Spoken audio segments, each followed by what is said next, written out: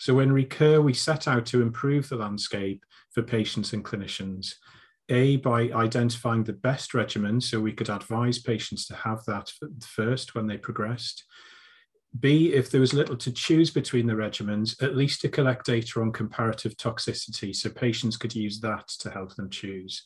And C, probably most importantly for the future, to identify the best backbone that we can then add novel drugs to, either um, based on uh, its efficacy or based on the toxicity profile of the new drug and the backbone.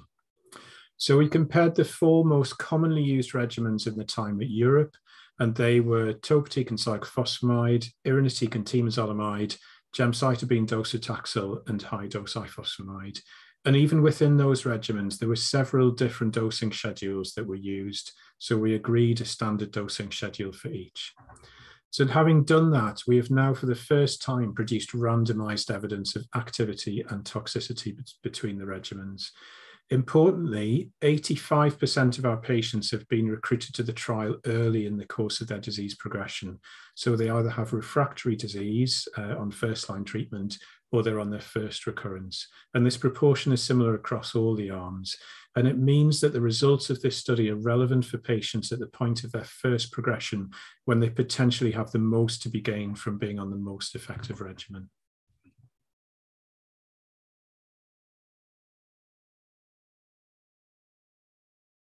In the comparison that we're presenting at ASCO this year, given the observed data, ifosfamide is better than the topocyclo arm for EFS, OS, and imaging response. So there's a 96% likelihood that ifos is better than topocyclo for EFS, a 94% likelihood that it's better for overall survival, and an 88% likelihood that it's better for imaging response. In terms of median OFS, that equates to a two months difference in median EFS, so 5.7 months versus 3.7 months, and just over six months uh, better overall survival, so 16.8 months versus 10.4 months. When we set the trial up, we knew that the ifosfamide regimen was very myelotoxic and it had a significant risk of neutropenic infections and also a risk of renal toxicity and neurotoxicity. We also knew that irinotecan temozolomide was much more likely to cause diarrhea, but these risks were not well understood in terms of the proportion of patients affected or how different the regimens were. So if we look at the direct topocyclo-ifosfamide comparison, ifosfamide patients had more grade 3, 4 toxicity overall than in topocyclo, so 57 versus 44%, and more grade 3 to 4 SAEs, so 28% versus 12%. One of the interesting findings was that the incidence of febrile neutropenia was pretty much identical between topocyclo and ifosfamide. Not surprisingly, the ifosfamide patients were more likely to have renal toxicity or encephalopathy of grade 3 or greater, and it was 7% for both versus 0% in the topocyclo arm.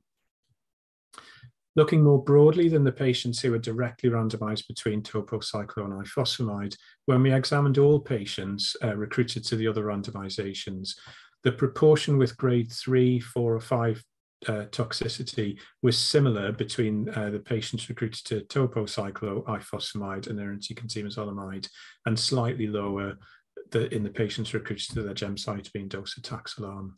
And the most common grade 3 plus toxicities across the study were myelosuppression, febrile neutropenia, infections, and gastrointestinal toxicity. Uh, and actually, the majority of the gastrointestinal toxicity was in patients recruited to the irinotecan temozolomide arm. Uh, just over a third of patients had grade 3 plus toxicity, uh, which equates to over seven stools a day.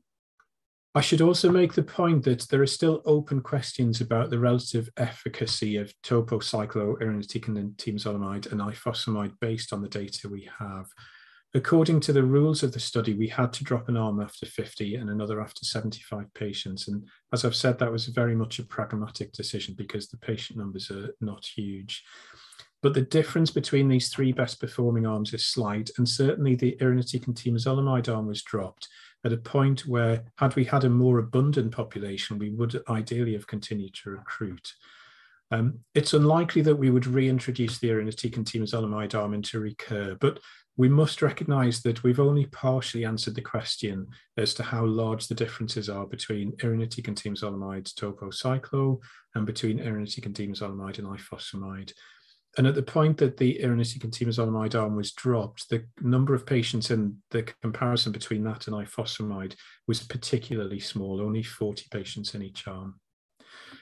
The main legacies of the trial, whether we bring in additional arms or not, are that for the first time, we've randomized evidence of efficacy and toxicity for patients and clinicians, which is really a huge, huge step forwards from our position before the trial started.